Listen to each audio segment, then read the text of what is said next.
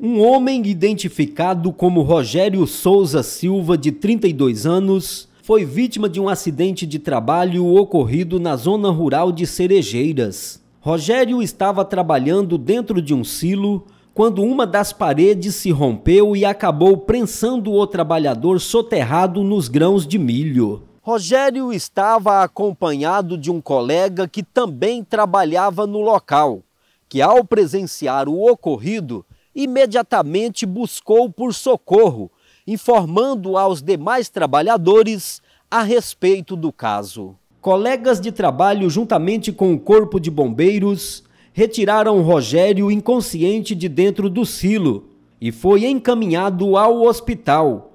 Mas infelizmente Rogério não resistiu à gravidade e morreu. O trabalho de resgate de Rogério durou cerca de 30 minutos.